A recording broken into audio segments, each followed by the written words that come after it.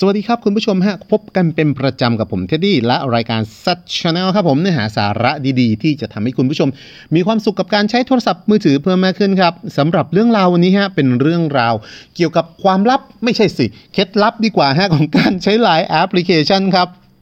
เจ้าเคล็ดลับที่ว่านี้นะครับ หลายๆ คนอาจจะทราบแล้วว่ามันมีหลายๆ คนอาจจะยังไม่รู้ด้วยซ้ำว่ามันมีนะครับ คุณผู้ชมฮะอันดับแรกนะฮะเดี๋ยวเราลองมาส่งรูปกันดูนะครับผมเคล็ดลับเรื่องนี้เป็นเรื่องกล่าวเกี่ยวกับรูปครับ คุณผู้ชมมาคลิกที่รูปตรงนี้ฮะรูปครับผม เพื่อที่จะส่งรูปใดรูปหนึ่งนะฮะเช่นเวลาเราจะคลิกรูปใดรูปหนึ่งนะครับคุณผู้ชมสังเกตนิดหนึ่งนะครับผมจะเจอสัญลักษณ์ที่เป็นวงกลมอยู่ตรงนี้นะครับผมในทุกๆรูปฮะในทุกๆรูปเลยนะครับหากคุณผู้ชมคลิก ติ๊กถูกตรงไปหนึ่งนี้นะครับ 1 2 3 4 5 6 แบบนี้ไปนะฮะ เราก็เลือกที่จะส่งรูปนั้นได้ไปในทันทีเลยใช่ไหมครับ ก็จะส่งเป็นรูปโดยที่ไม่มีอะไรเกิดขึ้นฮะ ทีนี้เราเปลี่ยนใหม่ครับผม คุณผู้ชมลองมาแตะที่ตัวรูปเลยนะฮะ มาแตะที่ตัวรูปครับผม โดยที่ไม่ให้แตะโดนเจ้าปุ่มวงกลมตรงนี้ครับผม พอเราแตะที่ตัวรูปตรงนี้นะฮะ มันจะเข้ามาสู่หน้าการแก้ไขครับ คุณผู้ชมสังเกตไหมฮะ มันเข้ามาสู่หน้าการแก้ไขรูปภาพครับ แทนที่จะเป็นการเลือกและส่งไปเลยครับ ซึ่งตรงนี้เราสามารถที่จะ crop ตัดก็ได้ ใส่สติ๊กเกอร์ได้ ใส่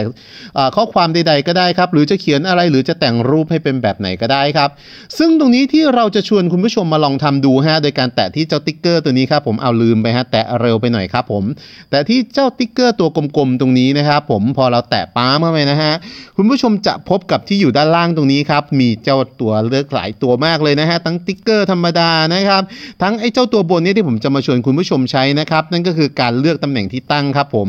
การใส่ตำแหน่งที่ตั้งเข้าไปในรูปครับ หรือการใส่เวลาต่างๆ ซึ่งเป็นเวลาเฉพาะ ครับผมการใช้ตำแหน่งที่ตั้งนะฮะเวลาเราเลือกตำแหน่งที่ตั้งสมมติเราเลือกตรงนี้ครับผมเราเลือกเจ้าตัวนี้เข้าไปนะฮะเราเลือกมาร์กเข้าไปนะฮะสิ่งสำคัญที่คุณผู้ชมจะเป็นจะต้องมีครับ นั่นก็คือคุณผู้ชมต้องเปิด GPS ของโทรศัพท์มือถือไว้ให้เรียบร้อยด้วยครับผมนี่ฮะการเปิด GPS ก็คือเจ้าตัวนี้แหละครับผมเนี่ยฮะเปิด GPS คือการค้นหาตำแหน่งที่ตั้งของเราให้เรียบร้อยครับเมื่อเราเปิด GPS ตำแหน่งที่ตั้งของเราเรียบร้อยครับ เราก็สามารถที่จะเลือกหาจุดฮะจุดที่มันอยู่ใกล้ ๆ กับเราครับ หรือคุณผู้ชมจะเลือกเองด้วยตัวเองก็ได้นะฮะโดยการคลิกเข้าไปในช่องที่เขียนว่าค้นหาตรงนี้นะฮะเช่นผมจะบอกว่าผมอยู่กรุงเทพนะฮะไม่เอาไม่เอาลอนดอนดีกว่าลอนดอนนะฮะลอนดอนครับผมลอนดอนนะฮะปั๊บเข้าไปฮะแล้วรอแป๊บหนึ่งนะฮะให้ระบบเขาทำการค้นหาครับผม ผมก็จะเลือกว่าผมอยู่ที่ลอนดอนฮะประเทศไทยครับผมมันอยู่ตรงไหนเนี่ยลอนดอนประเทศไทย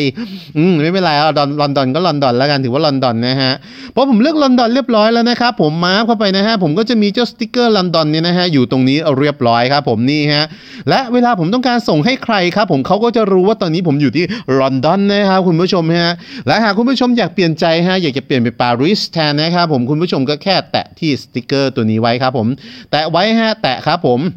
แล้วคุณผู้ชมก็ลากลงมาฮะแตะค้างนะครับผมคุณผู้ชมฮะลืมบอกแตะค้างนะครับแล้วลากลงมาที่รูปถังขยะซึ่งอยู่ด้านล่างครับผมก็สามารถที่จะลบ จ้าตัวเดิมออกไปได้แล้วฮะ คราวนี้ผมจะเลือกใหม่ฮะ Paris ครับผม ผมจะอยู่ที่ Paris ครับผม อ่า Paris ครับผมค้นหา Paris ประเทศไทยเช่นกันครับแม่โอ้ยปารีสครับผมกับลอนดอนอยู่ในประเทศไทยนะฮะ ก็จะอยู่ในปารีสเรียบร้อยครับ หลังจากนั้นฮะเราก็เลือกที่จะส่งได้เลยทันทีครับกับเจ้ารูปนี้ฮะ โดยการกดย้อนย้อนกลับไปหนึ่งครั้งครับผม แล้วจากนั้นก็เลือกที่จะส่งรูปตามปกติได้เลยครับ รูปที่เราส่งไปฮะก็จะบอกทันทีเลยว่าตอนนี้ผมอยู่ที่ปารีสนะครับคุณผู้ชมฮะจะพบผมนะฮะ อย่าลืมใส่รหัสด้วยนะครับ โทรทางไกลต่างประเทศครับคุณผู้ชมฮะ เพียงแค่นี้ฮะคุณผู้ชมก็สามารถใส่ความสุขเพิ่มเติมในรูปถ่ายที่คุณผู้ชม จะส่งต่อให้กับเพื่อนๆทางไลน์ได้อย่างเต็มที่แล้วนะครับคุณผู้ชมฮะเลือกได้เลยฮะ เอารูปเจ้าตัวแสบเนี่ยแหละครับผมรูปเจ้าตัวแสบเจ้าเจ้าพีทข้างบ้านเนี่ยนะฮะจะใส่เป็นข้อความอะไรเข้าไปก็ได้นะครับผมสามารถทำได้จากตรงนี้เลยฮะไม่ต้องไปใช้แอปเอิบอะไรให้มันวุ่นวายหัวใจครับคุณผู้ชมฮะเพียงแค่นี้ฮะมีความสุขมากๆครับแล้วคุณผู้ชม เพียงแค่นี้เหมือนกันฮะกดติดตามซัดชแนลของเราครับ จะได้พบกับสาระดีๆ จากเราทุกๆวันครับสำหรับวันนี้ สวัสดีครับ